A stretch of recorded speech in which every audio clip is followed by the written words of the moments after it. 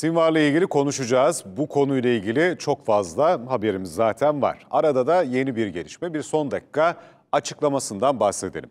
İsrail Dışişleri Bakanı Katz zaten e, soykırımıyla övünen İsrail'in herhalde en önde gelen bakanlardan biri. Türkiye ile ilişik olarak da sürekli Cumhurbaşkanı Erdoğan'ı e, İsrail'in yapıp ettikleriyle birlikte farklı bir yerlerde konumlandırmaya çalışan, işin içine farklı şekilde çekmeye çalışan bir kimlik olarak karşımıza geçiyor. Ya 4 ya 5.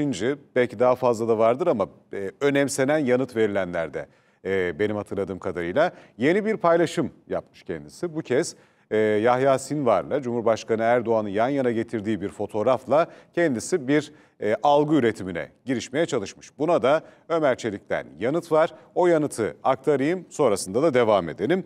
E, diyor ki Nazi ve katil İsrail Dışişleri Bakanı Katz bir cinayet şebekesinin üyesidir.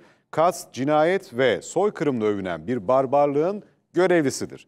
Katz ve benzerleri insanlığa karşı işledikleri suçlar sebebiyle insanlık değerlerinin savunucusu Cumhurbaşkanımıza saldırmaktadır.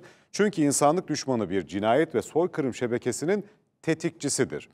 Gazze direnişi insan onurunun doruk noktasıdır. Önünde sonunda insan onuru barbarlığı yenecektir. Katz ve diğer caniler insanlık değerlerini savunan hukuk önünde mutlaka hesap vereceklerdir diyor e, Ömer Çelik. Şimdi bu konuya şöyle biraz daha açıklık getirelim. Sinvar'ı evet e, öldürdüğünü açıkladı. Bugün itibariyle Hamas'tan da bu yönde bilgi de geldi. Büyük bir ihtimalle hani e, bir ölüm tehdidinden bahsediyor. Daha önce farklı paylaşımlarında da e, benzer şeyleri anlatmak istiyordu. E, İsrail Dışişleri Bakanı yine aynısını gerçekleştirmiş. E, bunları inceleyip sıt dokumak gerekiyor. Hani e, zaten ne dedikleri ne kadar önemsenmeli denilebilir. Bizim tarafımızdan kale de alınmayabilir. Hani zaten deli dengesiz şeyler yapıyorlar da diye düşünülebilir ama sadece bizle alakalı olmadığı ortada. Bunun sadece Cumhurbaşkanı ya da onun kişiliğiyle alakalı olmadığı da ortada. Çünkü doğrudan e, devletin Cumhurbaşkanı'na bir atıfla hemen hemen her önemli dönüm noktasında bir şekilde birileriyle yan yana getirerek bir tehdidi devam ettirme hali söz konusu.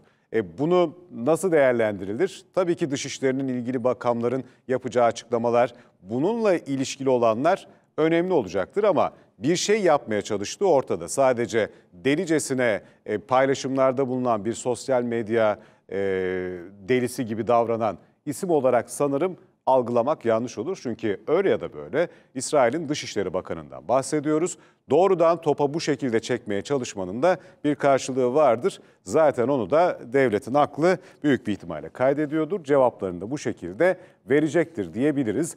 E, bugün itibariyle tahmin ediyorum ki bu tür açıklamalar e, Ömer Çelik'te başladı. Devamı gelecektir onları da aktaracağız size. Şimdi